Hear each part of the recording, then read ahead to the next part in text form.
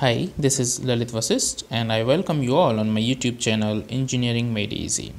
In this lecture, we will learn the time scaling and amplitude scaling of the signal. This is the graph of sine x. If we time scale a signal, then it is either compressed or expanded on the time axis. And by amplitude scaling, we mean increasing or decreasing the amplitude of the signal. Okay, so let's understand it with the help of sinusoidal graph sine x graph okay? So this is the graph of y is equals to sine x. You can see its roots are 0 pi 2 pi uh, okay? And i want to scale it on the time axis. So let's do this. Let's take another signal. Y is equals to sine 2x okay? This is the graph of y equal to sine 2x in the white.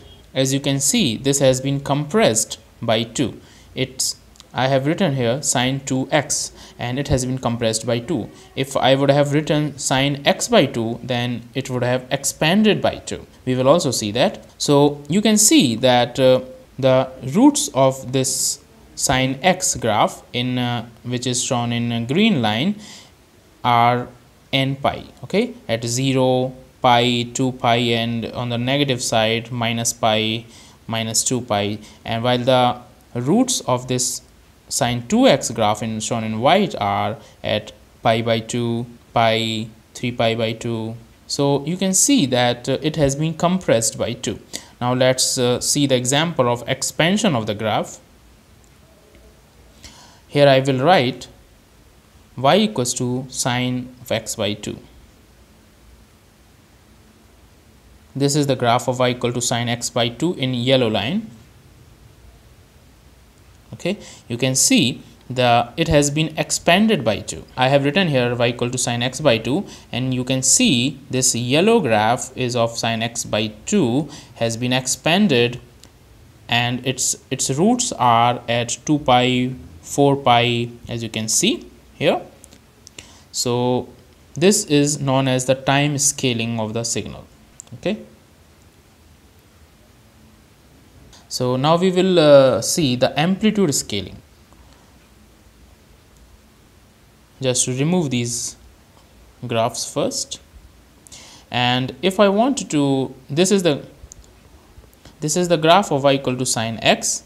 And next graph let's take uh, y is equals to 2 sine x.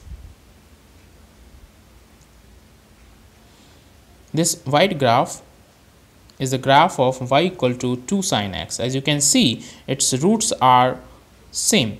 Its roots are at 0 pi 2 pi and on the negative side uh, minus pi minus 2 pi that is uh, n pi.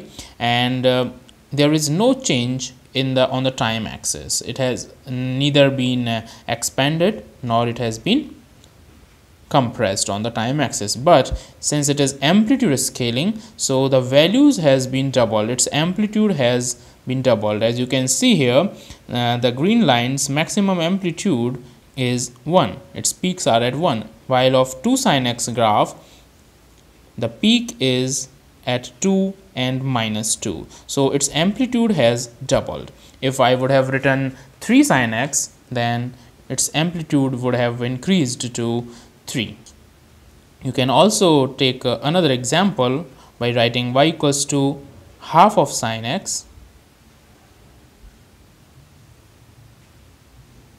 This is the graph of y equals to half sine x.